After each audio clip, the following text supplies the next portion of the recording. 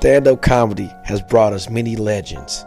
Some like Ellen DeGeneres, Dave Chappelle, George Carlin, Carrot Top.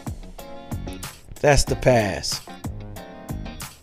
Focus on the Funny LLC presents the Future of Funny comedy show, season one, episode one, featuring Zach Favorites, Ray Roberts, Travion Lamont, Pat Ryan, and Carolyn Agnew. Hosted by Jason Nelson.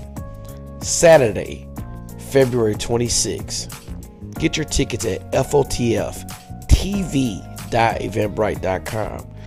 It goes down at the world famous Opry Palace in Ferguson, Missouri.